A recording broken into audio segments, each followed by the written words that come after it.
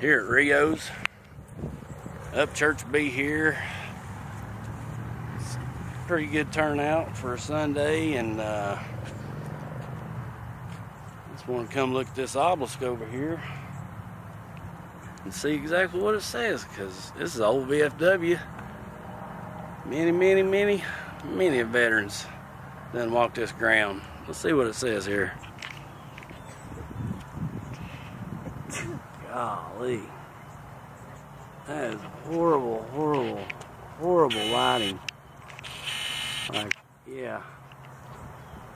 Alright, so it says, in memory of those from Greene County who made the supreme sacrifice in defense of the United States of America. Erected by Andrew Johnson, post 1990. Veterans of Foreign Wars of the United States, Greeneville, Tennessee, James N. Hardin, Commander, December 20th, 1957. And then it's got all the names. You got the Vietnam War. You got your Korean War. World War One way up there, and these are, I guess, all the lads who picked up they bore arms or bared arms or however you want to say that. And look at there World War II. Now that is a long list of names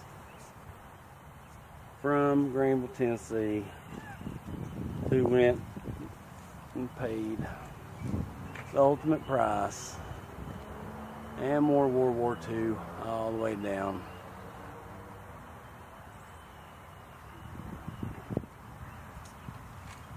That is just too dang special right there.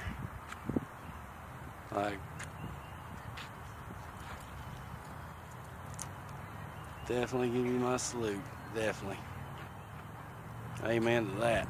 God bless America. Come on, Donald Trump. Pull your head out of your ass. Let's go blow this Kim Jong Un off the planet. I'm just kidding. Don't listen to me. All right, stay tuned. More Goldman 007 live at the Rio.